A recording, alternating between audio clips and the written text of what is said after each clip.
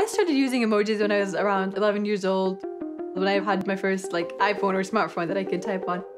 For communication with friends, it's a really huge part to the point that it's kind of scary. No, wait, I'm pretty sure your favorite was one was like one of the innocent ones. Laughing with the tears. Yeah, but it was our group chat or some other group chat, I remember every text came out with like the laughing face emoji right after each other. I'm like, that's your This is our group chat.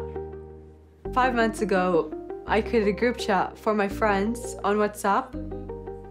Both my friends, Jemima and Nelly, they had an emoji to represent them, but I didn't have one. So, like, to showcase me, me, a hijabi, I jokingly put the emoji of a turban next to two intertwined arrows next to a woman in brackets to convey me, a hijabi. But that's what got me thinking why on earth is there no hijab emoji?